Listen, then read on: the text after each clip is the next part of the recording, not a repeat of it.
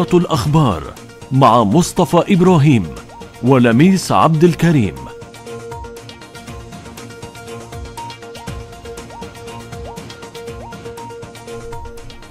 أهلا بكم وهذه نشرة إخبارية مفصلة نبدأها معا بأبرز العناوين.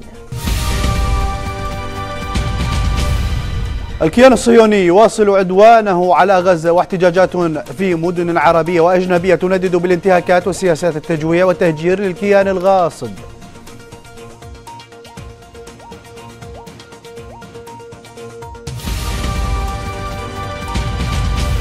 ردا على جرائم الاحتلال. كتائب القسام وحزب الله يعلنان عن استهداف عدة أماكن في الكيان الصهيوني بضمنها تل أبيب.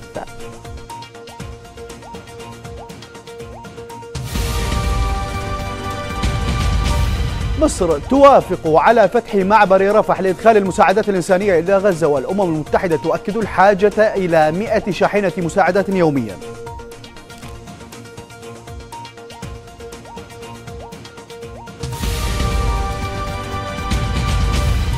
رئيس مجلس الوزراء يرأس الاجتماع الثالث للجنة العليا للاستثمار.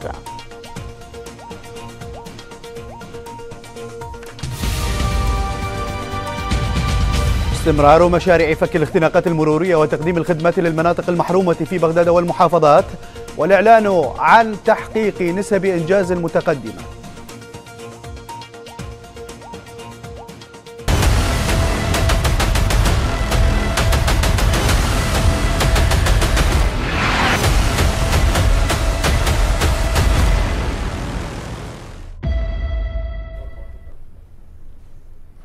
أهلا بكم. بداية النشرة من مقال رئيس مجلس الوزراء محمد الشيع السوداني لصحيفة الشرق الأوسط الصادرة في العاصمة البريطانية. شدد فيه على أن وقف الحرب على غزة أولوية للعراق. وأكد رئيس الوزراء على ضرورة وقف التصعيد واحترام حقوق الإنسان والضغط على الكيان الصهيوني حتى يوقف عدوانه على الأراضي المحتلة. وأشار إلى أهمية أن يتخذ المجتمع الدولي خطوات جادة ومسؤولة لتفادي حصول كارثة إنسانية تترك أثرها على أصل وجود الفلسطينيين في وطنهم المحتل. وأضاف أن الحكومة العراقية تحركت بسرعة لإرسال مساعدات إنسانية إلى غزة بالتنسيق مع الحكومة المصرية. كما أكد أنه سيلبي دعوة مصر لعقد مؤتمر دولي لبحث التطورات الميدانية في غزة معربا عن تطلعه خلال القمة بوقفة سياسية موحدة للدول الكبيرة من أجل أن تضع حلا عادلا للفلسطينيين. وأكد أن الحكومة العراقية ستدفع باتجاه اعتماد آلية موحدة للدول العربية والإسلامية لإيصال المساعدات الإنسانية والطبية والمالية إلى أهلنا في غزة. مشيرا إلى ضرورة مطالبة الولايات المتحدة والمجتمع الدولي للنظر بجدية إلى مطالب الشعب الفلسطيني المشروعة.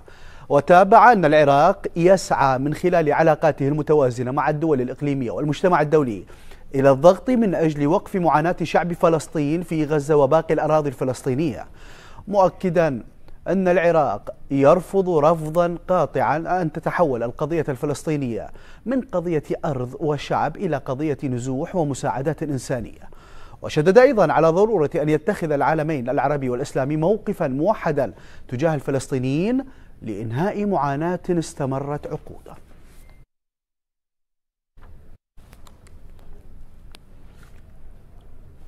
وفي تطورات الأوضاع الميدانية في غزة يواصل الكيان الصهيوني عدوانه على القطاع ومناطق في الضفة الغربية. رغم ردود الفعل الدولية التي دانت ارتكابه مجزرة مستشفى المعمداني في القطاع. مراسلة العراقية الإخبارية قالت إن عددا من الفلسطينيين سقطوا بين شهيد وجريح. في حي الزيتون جنوب شرق غزة جراء القصف الإسرائيلي. مضيفة أن عدوانا ثانيا استهدف منزلا في دير البلح وسط غزة وخلف شهداء وجرحى فيما أشارت إلى استشهاد طفلين برصاص قوات الاحتلال عند مدخل قرية شقبة غربي رام الله.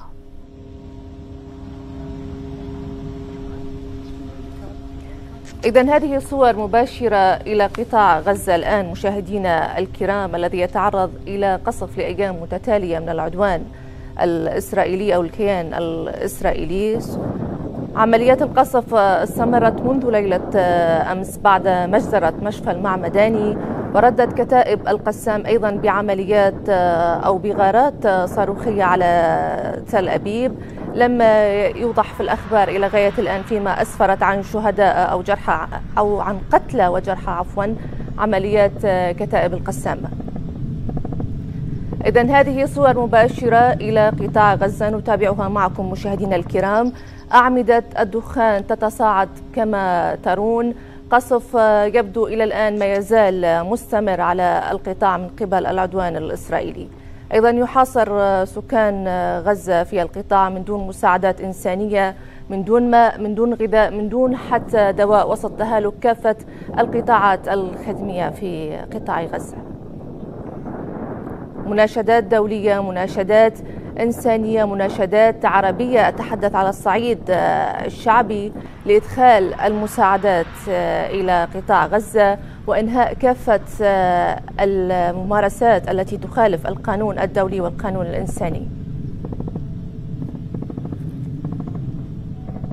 إذا مستمرون معكم في هذه الصور المباشرة. لقطاع غزة الذي لا يزال يتعرض إلى القصف رغم التنديدات العربية على مستوى الحكومات رغم البيانات المنددة والتي تججب كافة الأعمال الصهيونية.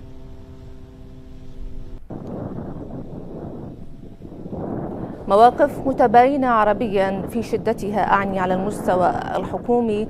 الكثير من الحكومات العربية نددت وشجبت قيام الكيان الإسرائيلي بقصف قطاع غزة لكن المجتمع الدولي يبرر ذلك بأن إسرائيل تدافع عن نفسها.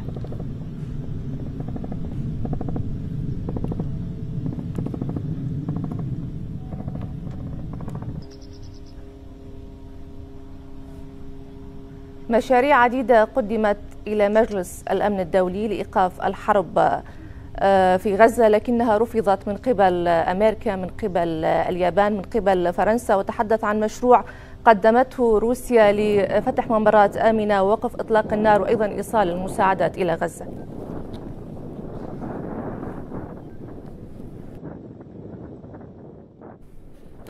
وزارة الصحة الفلسطينية أعلنت ارتفاع حصيلة الشهداء في قطاع غزة والضفة الغربية إلى 3540 شهيدا وأكثر من ثلاثة أو 13300 مصاب وزيرة الصحة الفلسطينية ميعكلا قالت أن الأعداد تقريبية بسبب الوضع الكارثي بالقطاع من جراء استمرار القصف وأشارت إلى وجود نقص حاد بالأدوية في القطاع وصعوبة في الوصول إلى المستشفيات. وقالت كيلا أن انقطاع المياه وتدهور منظومة الصرف الصحي يزيدان مخاطر تفشي الأمراض السارية.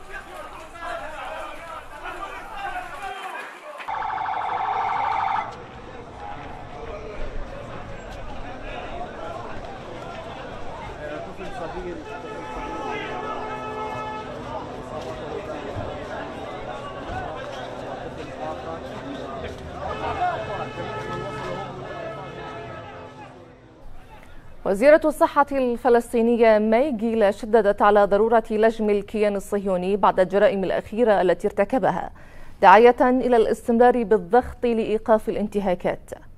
بالظروف العادية آه، يجب أن تحترم هذه حسب القوانين الدولية. لكن إسرائيل لم تحترم ذلك فعلى المجتمع الدولي أن يلجمها حقيقة عن هذا القصف المستمر. إحنا اليوم اليوم 12 للحرب ولم ولم نجد هناك حركة سواء كان على صعيد آه، الأمم المتحدة أو على صعيد آه، المجتمع الدولي حركة بالمستوى المطلوب. فبالتالي علينا أن نبقى نضغط من أجل إيقاف لجم إسرائيل بالضغط من هذه الدول ومن الأمم المتحدة على إسرائيل. بدور دعا نائب رئيس مستشفى المعمداني فادي حنا المجتمع الدولي إلى إيقاف العدوان الصهيوني على فلسطين مشيرا إلى أن الأولوية الآن هي عدم تكرار المجازر التي ارتكبت بحق المدنيين. نقف مع شعبنا مع أطفالنا ونسائنا مع المهجرين والمتألمين والمعذبين ونطالب العالم بوقف هذه الحرب الشرسة. ما يهمنا اليوم هو حماية الحياة. ما يهمنا اليوم هو عدم تكرار هذه المجازر. ما يهمنا اليوم أن نحمي الإنسان وأن نحترم حقوق وحرية كل إنسان. في المقابل أعلنت كتائب عز الدين القسام إطلاق صواريخ على تل أبيب وفي الأراضي المحتلة وقالت الكتائب أنها استهدفت تل أبيب للمرة الرابعة خلال 24 ساعة. وذلك ردا على جرائم الاحتلال بحق المدنيين في غزة.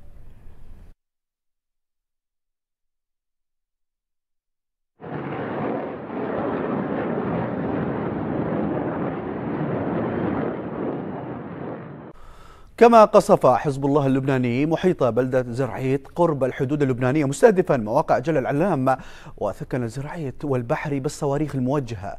وأوضح حزب الله أن مقاتلي هاجموا تجمعا لجنود الاحتلال الجنوبي مستوطنة المنارة بالصواريخ وأوقعوا قتلى وجرحى.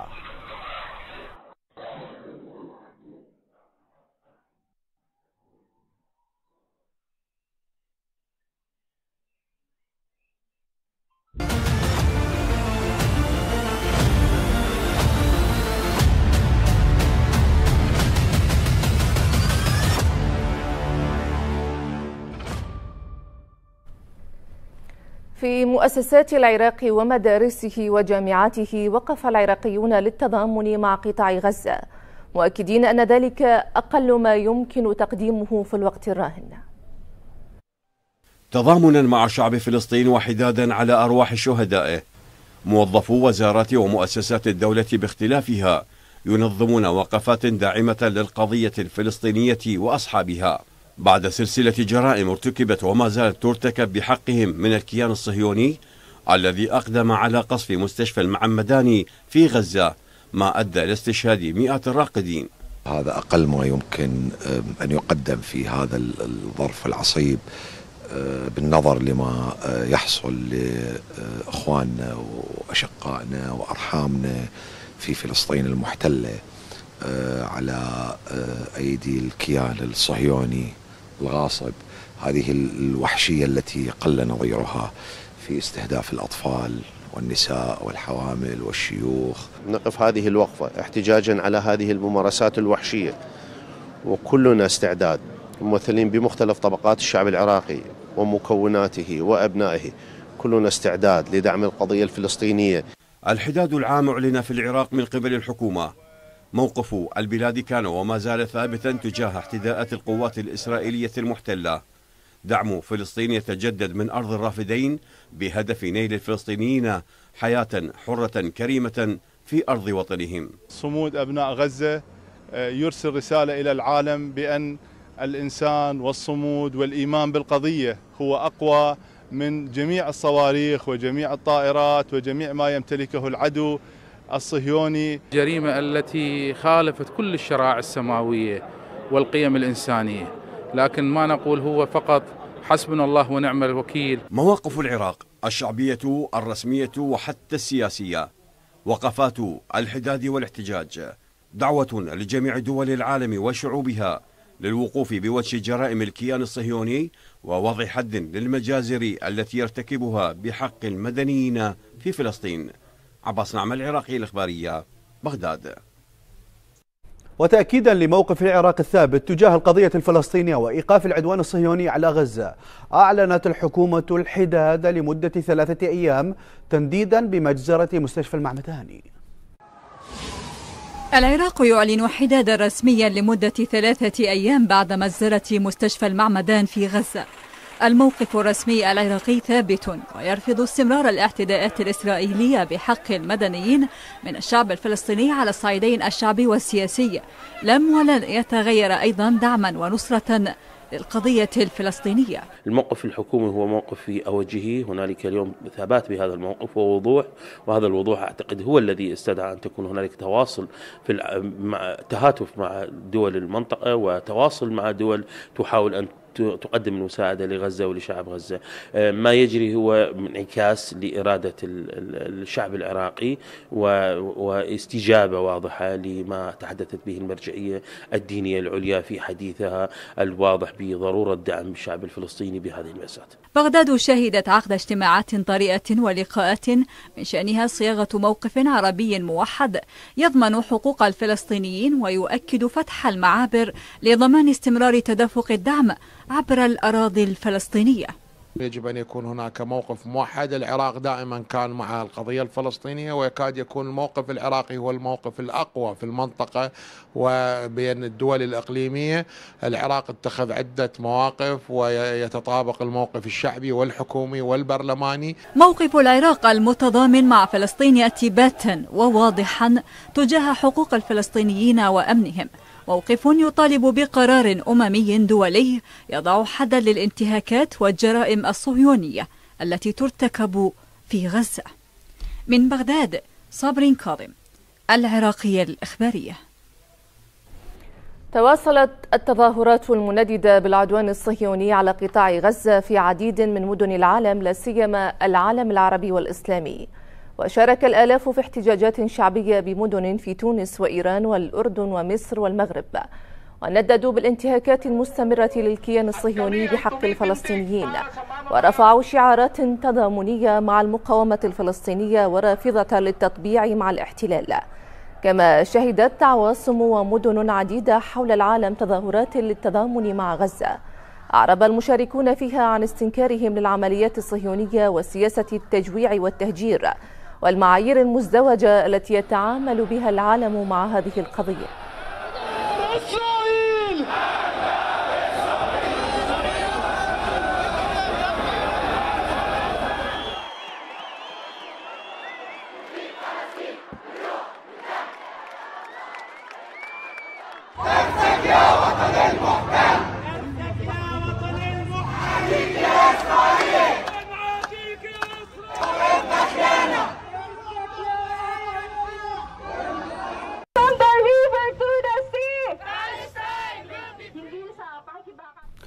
في بيروت وعلى وقع الاحتجاجات المنددة بالانتهاكات الصهيونية سجل وقوع صدامات بين المتظاهرين والأجهزة الأمنية المكلفة بحماية السفارة الأمريكية هناك حيث رفع المتظاهرون شعارات مناهضة لسياسة الاحتلال وجرائمه ضد الفلسطينيين.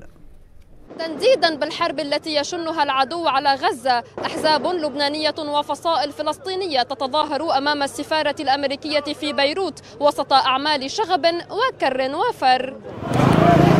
شهد محيط السفارة الأمريكية في بيروت تظاهرات حاشدة سرعان ما تحولت إلى اشتباكات بين المتظاهرين وأمن السفارة والجيش اللبناني الذي عمل على تفريق المتظاهرين مستخدما الغاز المسيل للدموع. المتظاهرون رفعوا شعارات ضد الكيان الإسرائيلي استنكارا لقصف مستشفى المعمداني في غزة. كل هذا الاستنفار الدولي والكوني والعالمي وضد الإنسان وضد المستشفيات وضد الأطفال والنساء.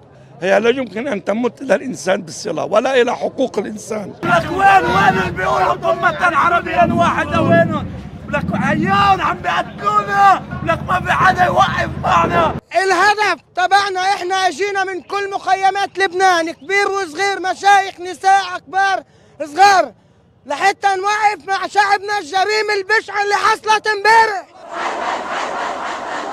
تزامنا مع التظاهرات أمام السفارة الأمريكية شهدت عدة مناطق لبنانية تظاهرات متضامنة مع غزة. إذا كنتم تحذروننا فإن جوابنا لكم. أنتم عليكم أن تحذروا وعليكم أن تتنبهوا جيدا. الخطأ الذي يمكن أن ترتكبوه مع مقاومتنا سوف يكون الجواب مدويا. وغزة هي دمنا ولحمنا. شبابها شبابها وولادنا اولادها نحن مع لآخر نقطة دم. من بيروت سالي قرفلي العراقية الإخبارية. قمة طارئة ستعقد في القاهرة السبت المقبل لبحث الحلول المستعجلة للأزمة الفلسطينية وإيقاف عنف الكيان الصهيوني ضد المدنيين في غزة.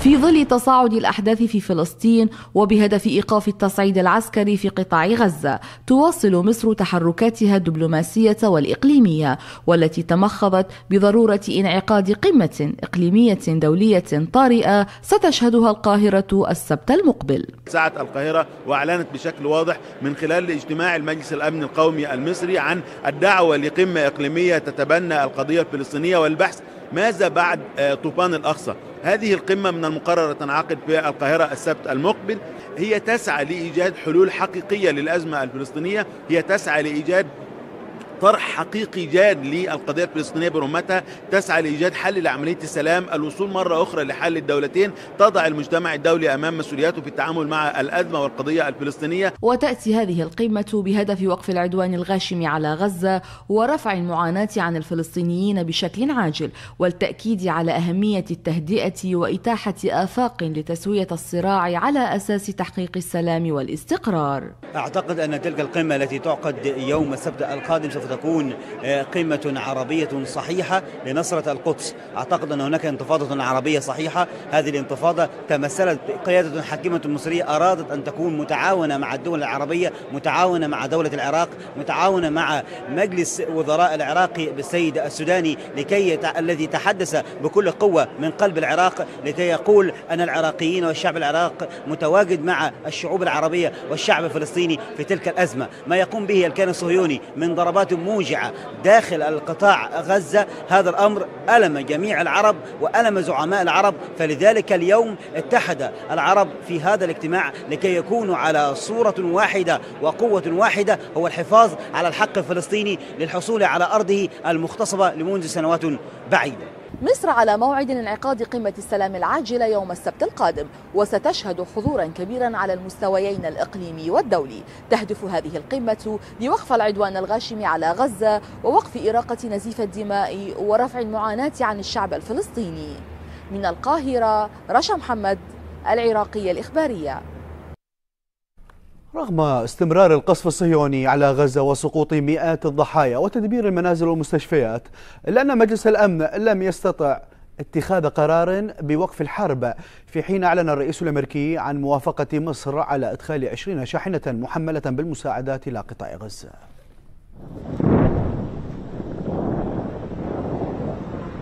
في اليوم الثالث عشر من طوفان الأقصى يواصل جيش الكيان الصهيوني قصف المناطق السكنية والمستشفيات والمدارس في قطاع غزة. وقد خلف القصف في آخر 24 ساعة 678 شهيدا. في وقت أشارت وسائل إعلام إلى أن جيش الاحتلال يستعد للتحرك بريا في القطاع وذلك بعد أن أجرى الرئيس الأمريكي زيارة للكيان وجدد فيها دعمه لحكومته. أما مجلس الأمن الذي لم يستطع تأمين قرار واحد في جلستين انعقدتا هذا الأسبوع للخروج بقرار يدين قصف المدنيين وتجويعهم والسماح بإدخال المساعدات بعد أن استخدمت الولايات المتحدة وحلفائها حق النقض الفيتو ضد أي قرار قد يعكر صفو الكيان المحتل.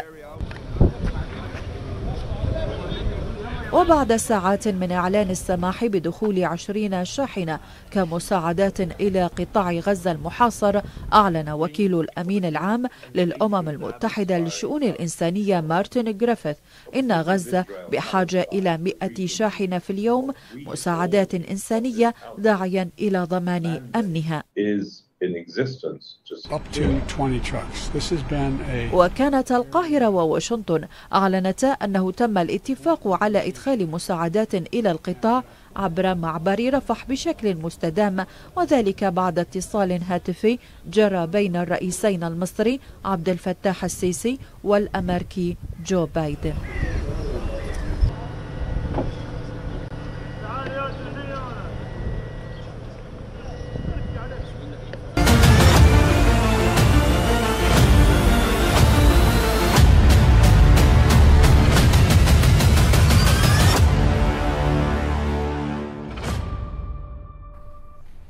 في المواقف السياسية الخاصة بالجرائم التي تتعرض لها غزة أكد رئيس الوزراء محمد الشيع السوداني.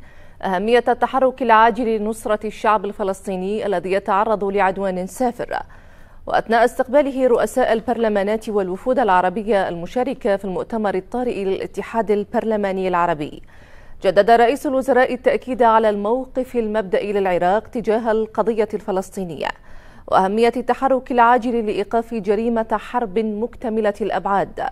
ومحاولة للإبادة الجماعية بعد أن تمادت سلطات الاحتلال وأوغلت في استهداف المدنيين الآمنين. ودعا المجتمع الدولي والمؤسسات والهيئات البرلمانية والسياسية إلى نجدة الشعب الفلسطيني المظلوم وتمكينه وضمان حقوقه المشروعة في إقامة دولته على ترابه الوطني.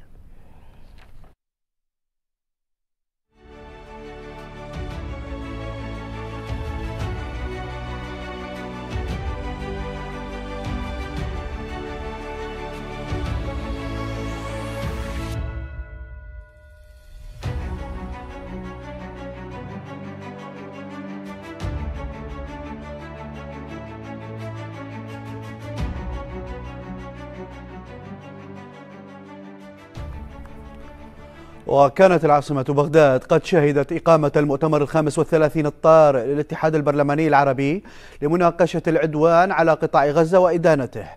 البيان الختامي للاتحاد دعا المجتمع الدولي إلى تحمل مسؤوليته في إيقاف الحرب على غزة وحذر مما وصفه بالانفجار في عموم المنطقة العربية.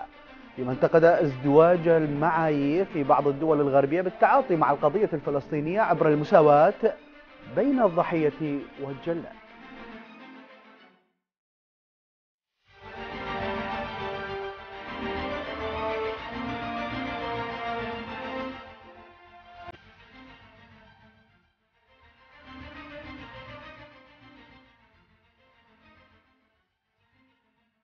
نؤكد على أن الجرائم التي يرتكبها الكيان الصهيوني وآخرها قصف مستشفى المعمداني سيؤدي إلى انفجار لا سابق له في كامل الأراضي العربية فضلا عن توسيع دائرة القتل الجماعي وشريعة الغابة التي تحاول إسرائيل الترويج لها منذ عام 1948 نجدد مطالبتنا للأسرة الدولية ومنظماتها الدولية الفاعلة التدخل العاجل والفوري وقول كلمة الحق في وجه انتهاكات الكيان الإسرائيلي.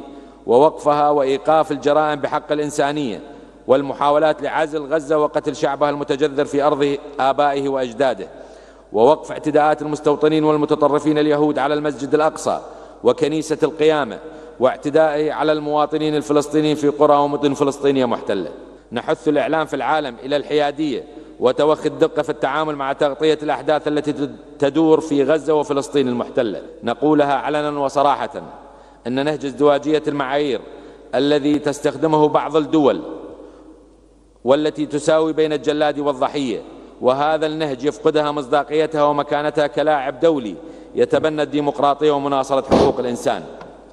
والمبادئ الأخلاقية والإنسانية لن تغير الواقع على الأرض الفلسطينية مهبط الرسالات وعاصمة الديانات بل ستعري الوجه الدموي للاحتلال الإسرائيلي.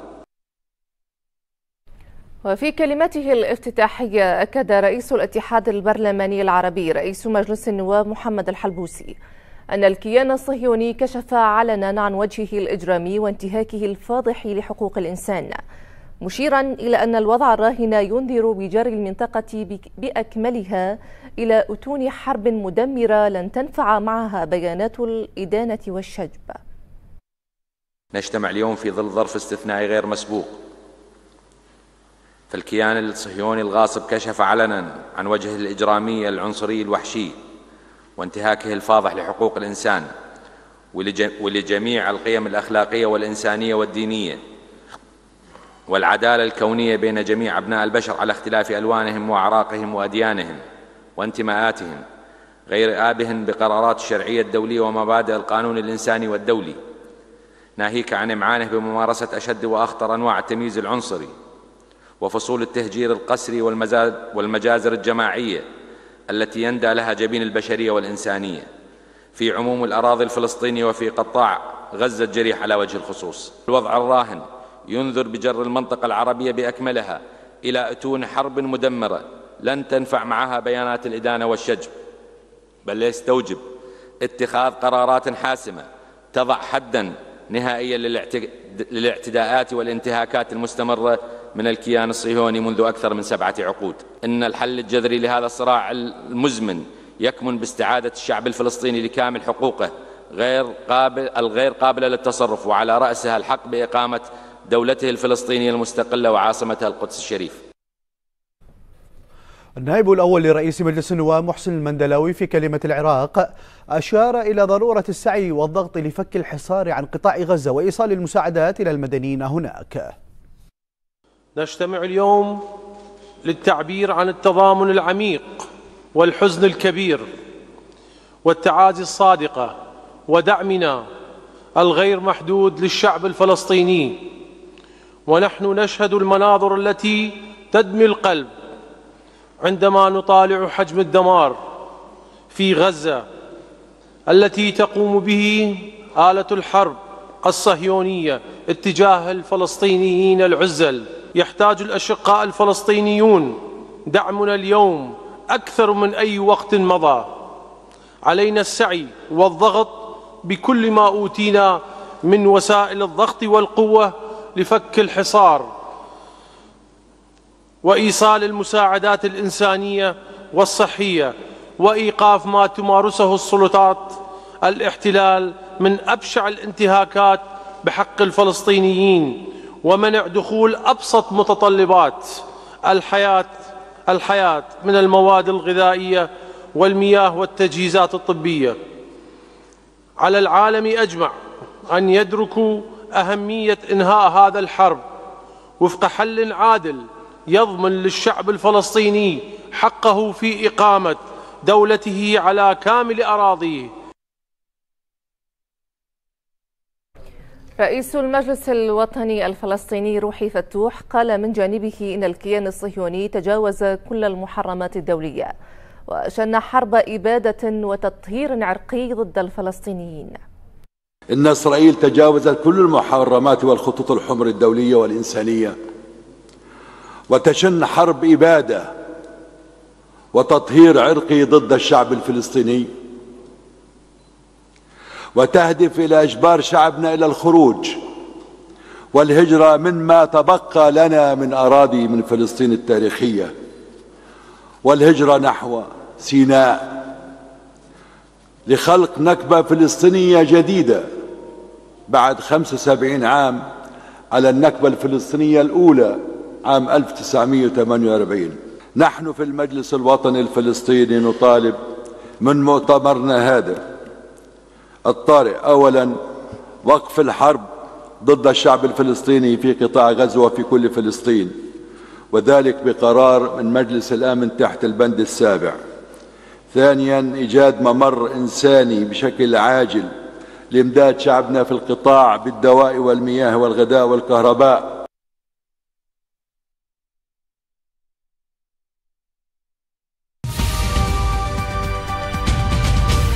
رئيس مجلس الوزراء يرأس الاجتماع الثالث للجنة العليا للاستثمار.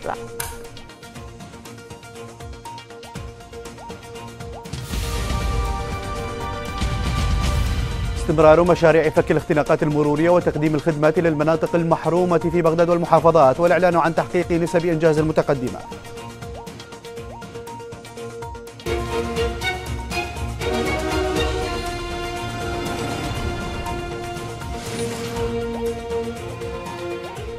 في الجانب الاستثماري ترأس رئيس مجلس الوزراء الاجتماع الثالث للجنة العليا للإعمار والاستثمار بحسب ما أعلن المكتب الإعلامي لرئيس الوزراء.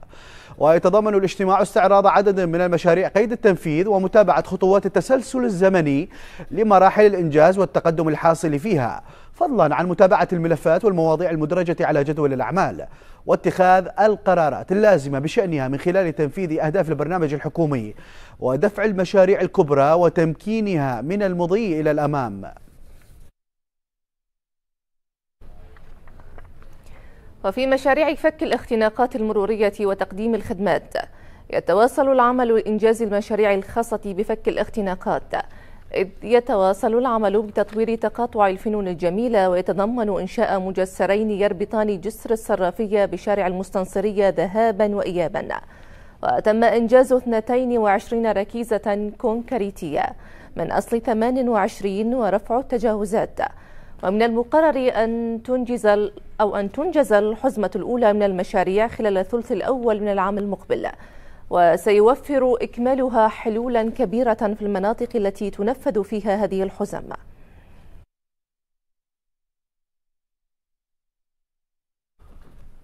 وفي المثنى يواصل فريق الجهد الخدمي والهندسي الحكومي أعماله لتأهيل وصيانة 13 مدرسة في عموم المحافظة وذلك ضمن خطة الحكومة المحلية في قطاع التربية للعام الحالي. تشمل هذه الخطة إنشاء أربعين مدرسة نموذجية وذلك ضمن المشاريع الممولة من الدعم الطارئ.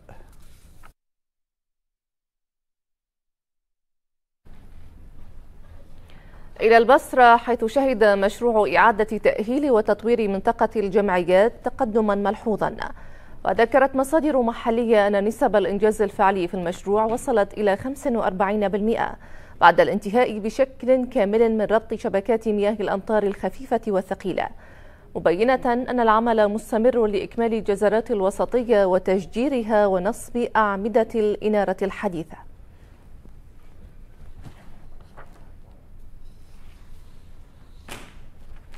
إذا الحديث عن هذا الموضوع معنا شبكة مراسلين من بغداد عباس ناعم ومن البصرة مرتضى البغدادي ومن المثنى علي كريم. أهلا بكم جميعا في هذه النشرة. أبدأ من بغداد مع عباس. عباس لك الحديث عن تفاصيل مشاريع فك الاختناقات المرورية.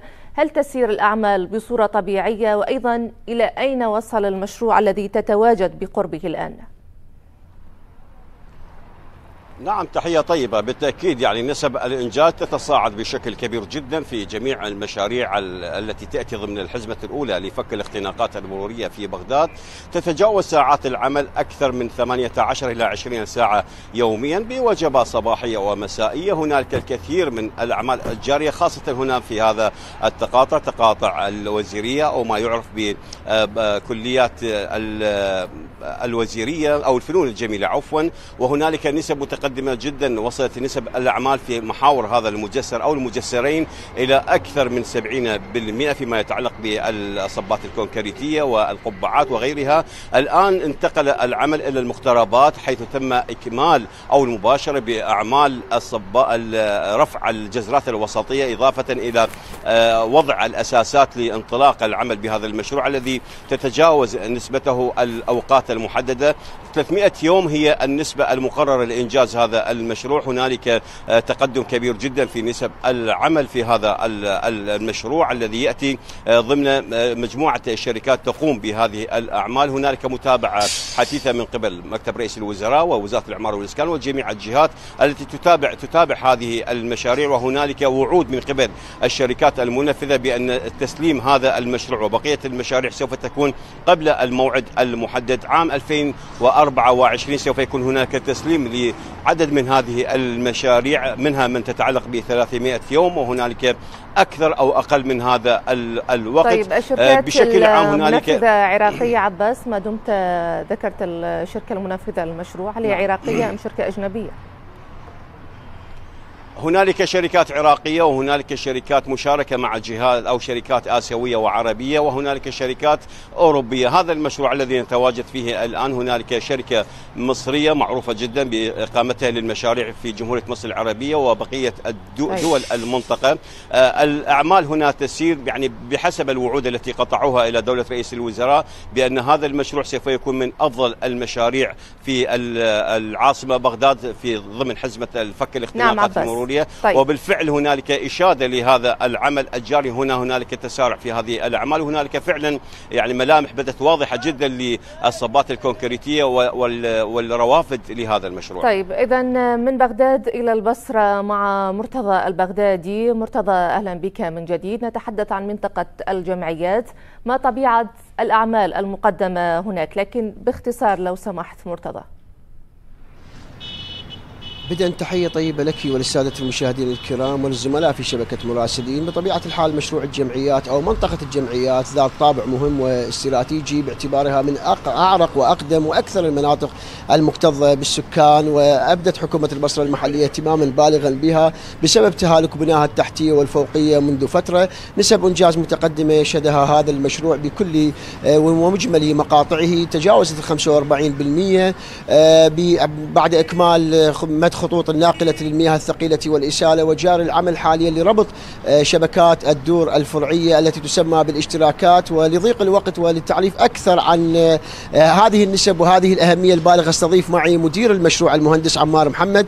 حياك الله أستاذ عمار. حدثنا عن أهمية هذا المشروع نسب الإنجاز المدد المخططة والمحددة له. إن شاء الله. بسم الله الرحمن الرحيم.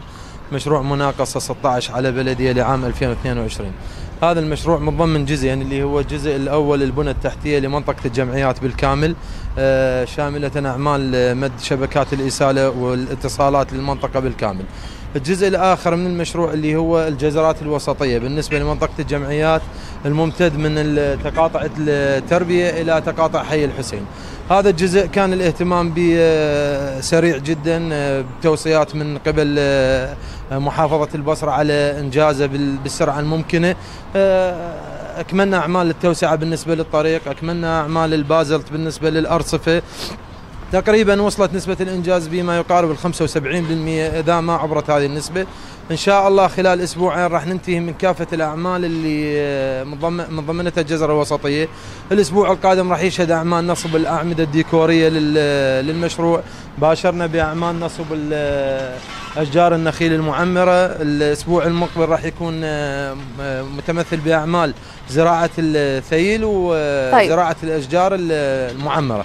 بالجزرات الوسطية. انتهينا من أعمال نصب الأحواض الخاصة بسقي المزروعات نعم. زائدا غرف طيب المطبخات إن شاء الله خلال الأسبوع القادم يكون هذا المشروع يعني طيب تقريبا منجز نتمنى لكم كل التوفيق آه، إذا المشاهدين الكرام نعم. الجدير بالذكر أيضا إن هناك أعمال أخرى سوف يشهدها المقطع الجنوبي من هذا المشروع ألا وهو آه، النصب ما يعرف بتقنية ال power curber على كل مفترقات الطرق وجوانب الطرق بالإضافة إلى نصب ولأول مرة يحدث في مشروع متكامل نصب محطات آه، الأمطار الرئيسية والأساسية طيب وأيضا نعم. منظومات السقي كما تشاهدون من خلفي من هذه الجزرات ومدة زمنية مسابقة للزمن سوف يحقق هذا الإنجاز في التمام نعم. والكمال إن شاء الله. طيب نعم. اذا إلى المثنى مع علي كريم، علي أهلا بك، ما طبيعة أعمال الجهد الخدمي في المثنى؟ نتحدث عن المدارس، ما هو عدد المدارس المشمولة ضمن الخطة الحكومية؟